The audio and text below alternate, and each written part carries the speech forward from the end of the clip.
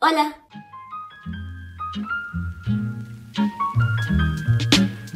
Maca Álvarez y bienvenidos a mi canal. En el video de hoy les voy a enseñar a hacer o a mejorar su lettering. No hay mucho que decir, así que espero que les guste y empecemos con el video. Lo primero que les quiero mostrar es el tipo de marcadores que uso para esto. Por un lado están estos que son los Tombow, que son especiales para lettering. Como se pueden dar cuenta tienen punta de pincel y pues claramente eso hace que sea mucho más suave el trazo que otros marcadores. Luego están estos que también son Tombow, pero tienen una punta mucho más delgadita. Y estos en específico son los de punta dura. Hay que hacerles más presión al momento de hacer el trazo hacia abajo. Y pues claramente no necesitan marcadores de punta pincel o especiales para esto. Lo que quiero mostrarles es que el lettering también se puede hacer con marcadores que no son especiales o diferentes a los que usualmente la gente tiene. Digamos, estos marcadores son los milk liners. Estos, por ejemplo, tienen una punta que es diferente. No es ni de pincel, ni es blandita, parecida a los marcadores que uno usaba cuando era chiquito para dibujar. Bueno, entonces primero voy a empezar enseñándoles la regla de oro del lettering y eso es básicamente lo que nos da el trazo. Entonces lo que hay que hacer es que cuando se va para arriba, las líneas tienen que ser muchísimo más delgaditas y cuando bajas, lo más grueso que puedas. Algo así. Hay gente que hace las líneas para arriba muchísimo más delgadas. Yo lo hago más o menos de este grosor, pero hay gente que le gusta más delgadita o más gruesa. Y pues al principio recomiendo hacer trazos primero así, como planas, mientras la muñeca y la mano se van acostumbrando al trazo.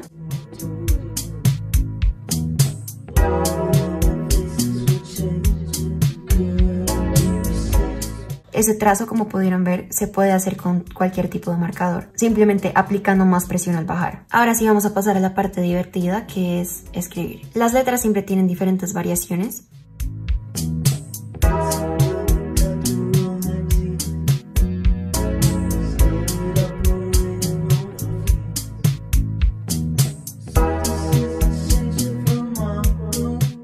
veces que a uno no le quedan los trazos como deben quedar, entonces no duden en volver a pasar el marcador, digamos aquí o acá, o la forma simplemente no queda como quieren, entonces vuelven a pasar el trazo. También otra cosa que puede pasar, a mí me pasa mucho, es que hay variaciones en las letras. Digamos, la T no siempre la hago así, sino que tal vez la hago sin el palito de acá, entonces puede ser así. O digamos la S, esa es la que más cambio.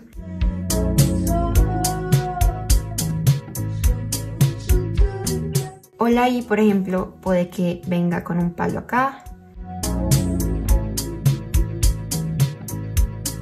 Entonces, pues pueden haber diferentes variaciones. Yo me frustraba mucho porque intentaba copiar el lettering de la gente y no me quedaba igual porque obviamente pues puede ser lettering pero sigue siendo tu propia letra. Por eso es que empecé a experimentar y empecé a darme cuenta de que era lo que me gustaban mis letras y que no. Entonces les recomiendo eso. Prueben varias variaciones de las letras y creen su propio estilo, básicamente. Ya después de que tengan el abecedario, y que ya sepan cómo hacer las letras, pueden pasar a juntarlas y hacer palabras, porque puede sonar muy bobo y todo, pero al principio puede que se te haga difícil, digamos, hacer las líneas que hay entre las letras o no sabes cómo unirlas. Entonces esto es básicamente práctica.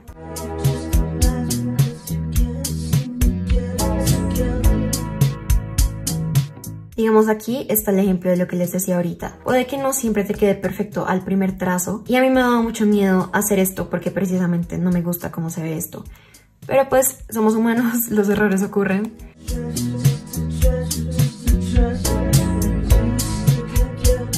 Ahora que ya practicaron cómo juntar las letras y esas cosas, entonces voy a pasar a mis tips. Esto es básicamente lo que me ha ayudado a hacerlo más interesante o más bonito y a mejorarlo. El primer tip que tengo viene con las letras que tienen como unas curvas hacia arriba. No sé si me explico, ya van a ver. Con la A, por ejemplo, yo la hago así. Pero antes la hacía como así. Creo que notan la diferencia. Lo que aprendí es que las letras se ven mucho más bonitas e interesantes cuando tienen picos. Entonces, en vez de hacer cosas así, me gusta exagerar esos picos a veces.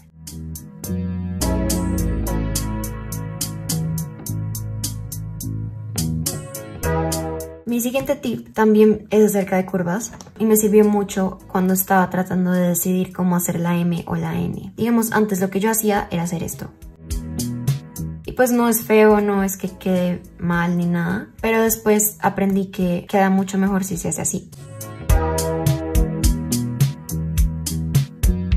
Como se pueden dar cuenta, la letra se vuelve muchísimo más interesante de ver cuando uno la escribe con curvas. Lo mismo pasa con la N. Antes hacía esto y ahora hago esto. Ahora voy a escribir una palabra de dos formas. La primera va a ser como la hacía antes y la segunda implementando el truco que me ha ayudado a escribir mucho mejor.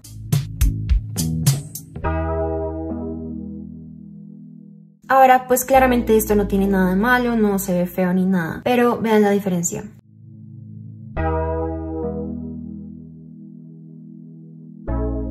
Como se pueden dar cuenta, todas están más o menos en el mismo rango. Ahora con esta lo que pasa es que empiezan en diferente lugar.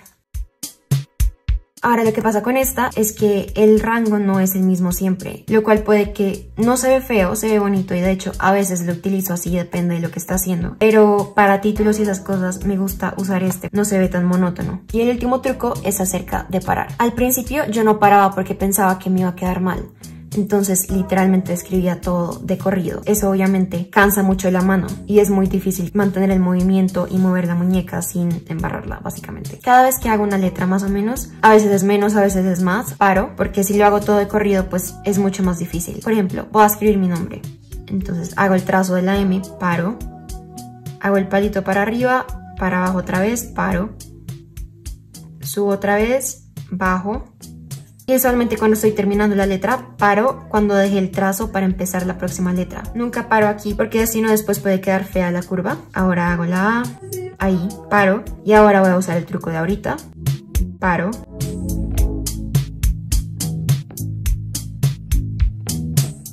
Ahora les voy a mostrar diferente tipo de lettering que utilizo y unas ideas de títulos, que son las que usualmente utilizo en mis cuadernos.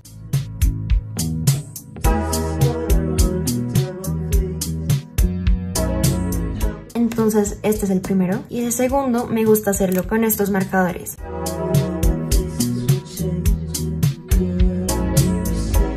Entonces, como se pueden dar cuenta, esta es la base. Con estos marcadores lo que pasa es que el trazo, como no es tan blandita la punta y es más pequeña, los trazos usualmente quedan como con pedazos sin rellenar o pues que me gustaría que fueran diferentes. Entonces lo que hago es volver y pasarlo y de pronto hacerlo un poquito más grueso hacia abajo.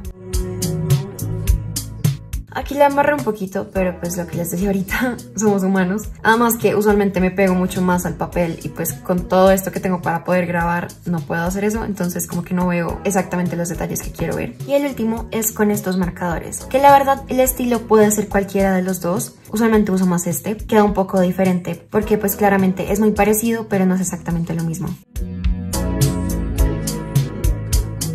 Y ahora les voy a mostrar unas formas en las que usualmente hago mis títulos.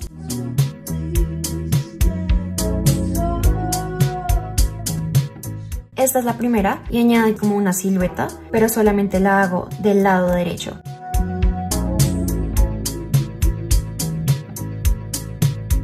Esta siguiente es ya la silueta completa y me quedó bastante rara porque, como les decía, estoy muy lejos del cuaderno, entonces no veo bien, pero pues se dan una idea.